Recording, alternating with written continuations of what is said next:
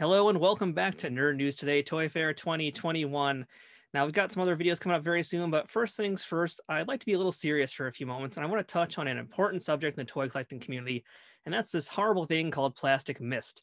Plastic mist is what happens to older action figures when they start to form this unsightly kind of crust on their parts. And uh, I want to talk to you guys about how to identify it and how to deal with it.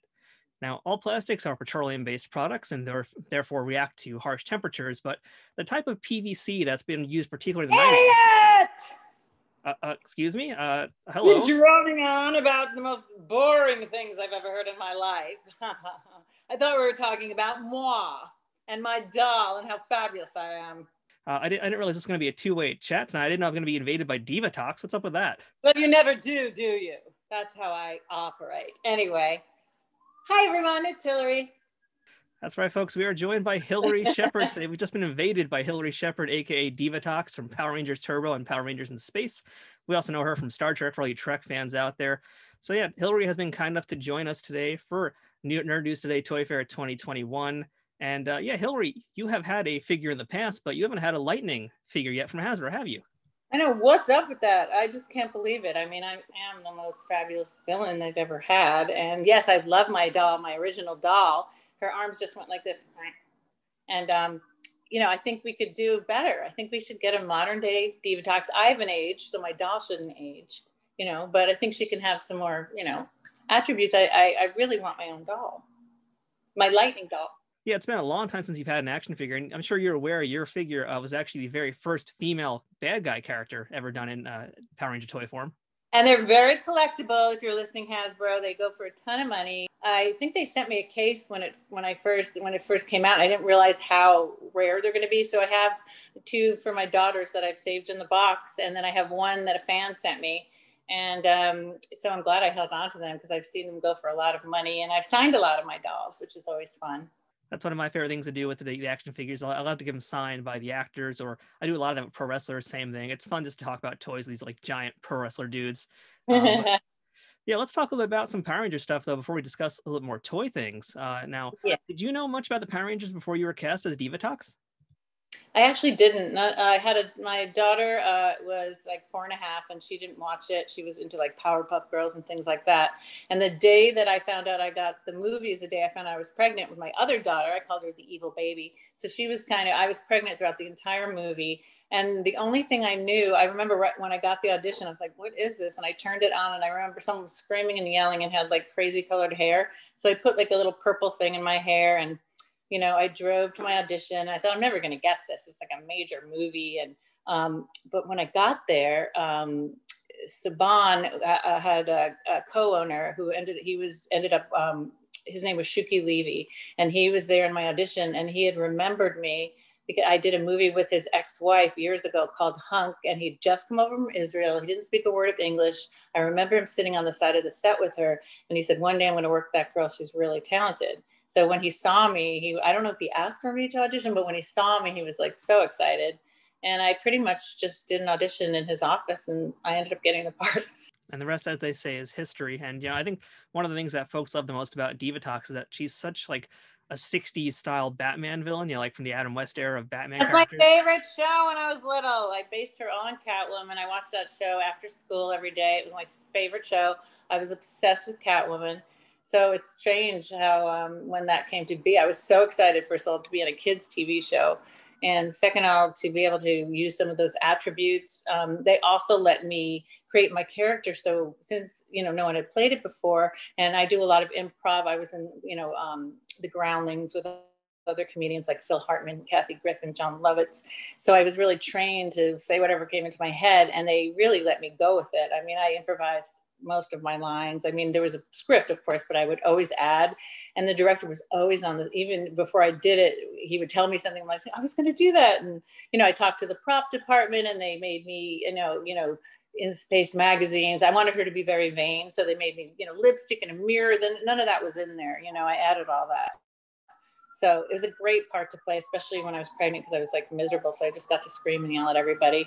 And it was in my little corset, you know, it was so uncomfortable barfing, you know, barfing in my trailer, you know. So it was great because I was pissed off anyway.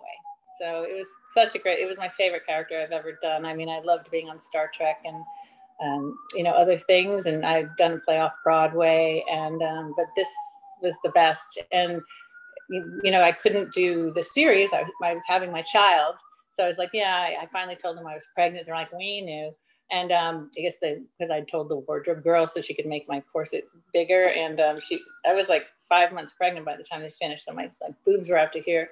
So um, so I said, you know, I really they wanted to start shooting, you know, like in five months or four four months before when I was still pregnant. So I was like, oh, I'm sorry, I can't do the TV show. I really wanted to. And then um, they kept calling me to see, you know, if I was giving birth yet.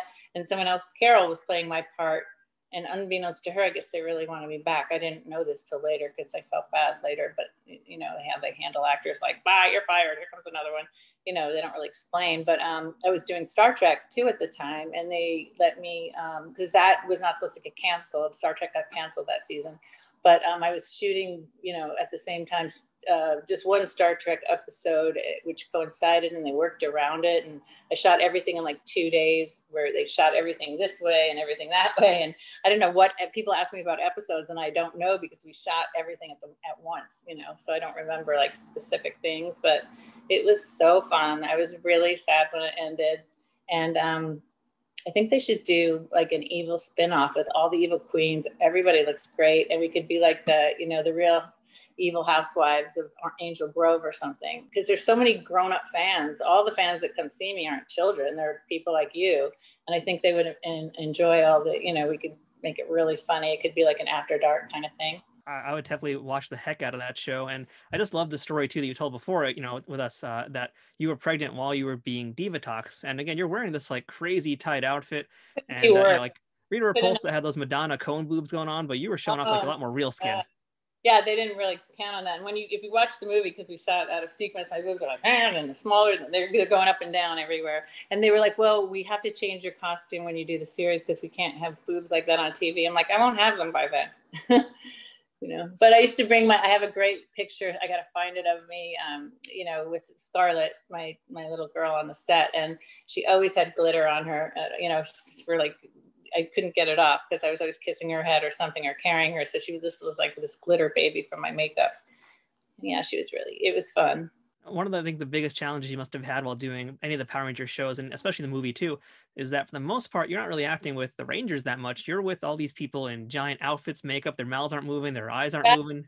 Right. Then they don't react to you. So a lot of the things I improvise, like you big Christmas tree ornament, get out of my way, because they were smashing into me. They couldn't hear me. So they I love that they made them stupid and bumbling because it played right into everything. And I could just work with what was happening. You know, if they were glitching or couldn't hear or crashing into me, I just put that into the scene. Like, you know, and berated them, which was so fun. and all those yeah, insults really were all fun. improv, right? And I, yeah, yeah, because I did it as it was happening. Like if someone smashed into me or elbowed me, you know, I would just, you know, say whatever came to mind. Like if somebody was really doing that to you, and they kept all that in.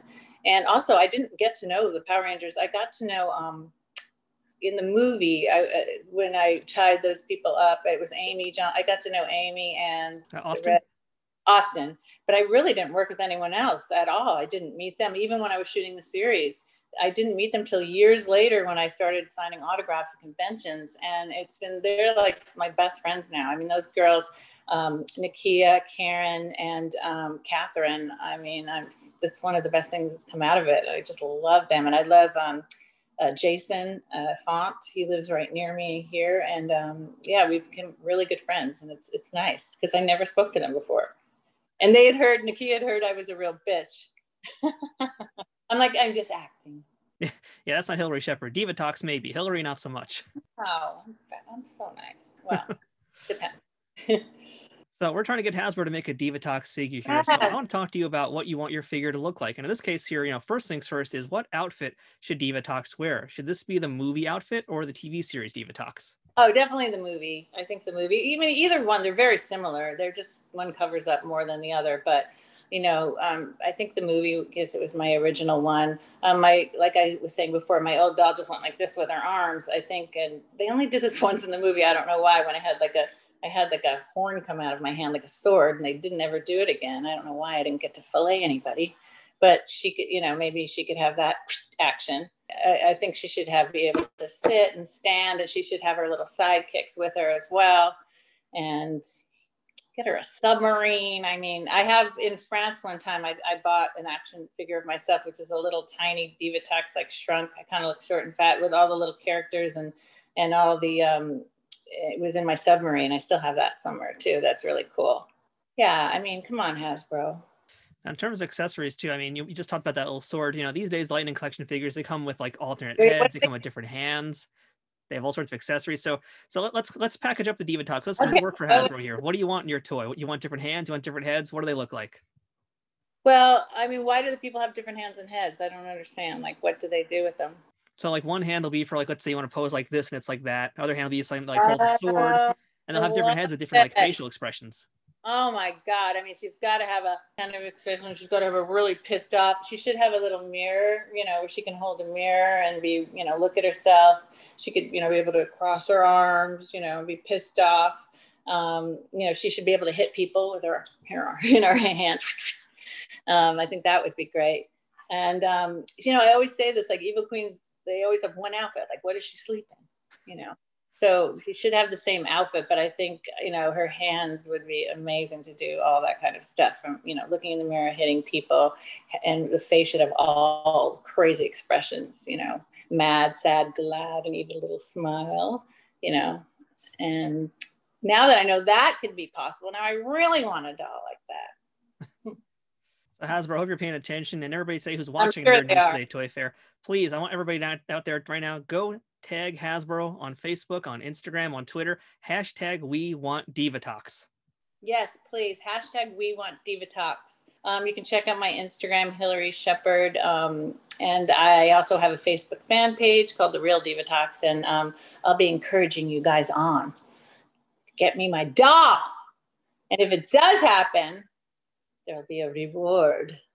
Well, Divatox yeah. about rewards. Count me definitely in on that yeah. one, folks. We got to do this. We got to make this happen because it's been too many years now already of Power Rangers toys without a modern, updated version of Divatox. So hashtag we want Divatox. Go ahead, do that at Hasbro and tag Hilary as well. And if you're not following Hilary, you really got to do that because she has like some of the best Instagram stuff out there. I love your Instagram page for real. Oh, thank you. That's glad so I'm following sweet. it. And uh, yeah, for folks out there too, if you want to hear more from Hilary as well, uh, I did an interview with her back on the Trek Untold podcast. That's episode 16, where we talked a lot more about Power Rangers, about Star Trek, Golden Girls, Full House, Meatloaf, even, and a whole lot more. So do check that out. Yeah, it's one of my favorite interviews. So thank you so much for having me again. And let's you. do an update and see what happens when they actually make my doll. Toy Fair 2022, we better see a Divatox in the aisles. We better. There's going to be just a riot of Oh, we shouldn't say riot right now. Never mind. Bad we'll timing. Bad timing. But you guys we'll get the yeah. idea. We'll be pissed. Let's just say that. Listen, Hasbro, you're idiots. I'm gonna fire the torpedoes if you don't make my doll. So all of you who want Divatox doll, hashtag we want Divatox. That's hashtag we want Divatox. Tag Hasbro, you know, do it at Hasbro, then tag me. And let's get me a doll. Get all you guys a doll. You deserve it. So that's our chat with Hilary Shepard, folks. Make sure to stick around because Nerd News Today 2021 is far from over. More coming soon.